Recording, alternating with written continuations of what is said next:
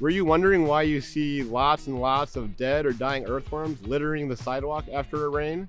I'll explain. My name is Brad Herrick. I'm the ecologist and research program manager here at the UW-Madison Arboretum. I work on soil invertebrates like earthworms, studying their biology and ecology.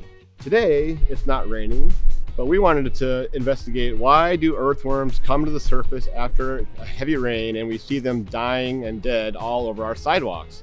One of the misconceptions is that a lot of water in the soil and earthworms are drowning, and so their response is to vertically burrow out of the soil so they can breathe fresh air. One of the problems with that idea, though, is that unlike humans, earthworms don't have lungs. And so earthworms are very good at taking in oxygen through water through small pores in their skin. And so that's how they quote unquote breathe. So what's actually happening is that they're much more effective at moving through the soil and above the ground when things are wet. And so they can take advantage of burrowing out of their soil and onto the surface of the ground where they can easily wiggle around, getting to new habitats to find new places to live and to eat. But there are two potential hazards for earthworms when they come to the soil surface.